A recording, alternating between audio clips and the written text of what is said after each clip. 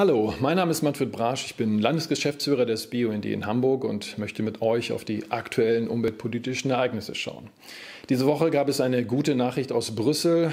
Die Europäische Kommission will das Thema Müllproduktion auf die Agenda setzen. Es gibt jetzt einen Aktionsplan Kreislaufwirtschaft.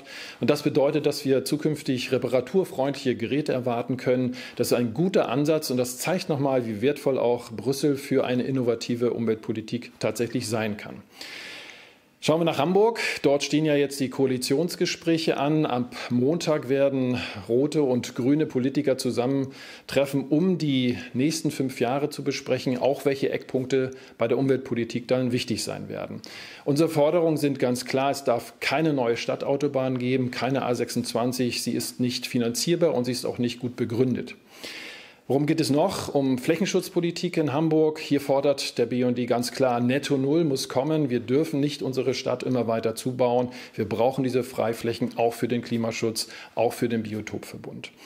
Klimaschutz ist das nächste Stichwort. Hamburg muss 2035 bereits klimaneutral sagen, sein. Auch hier erwarten wir von der neuen Regierung effektive Maßnahmen, damit wir bei der CO2-Einsparung auch vorankommen.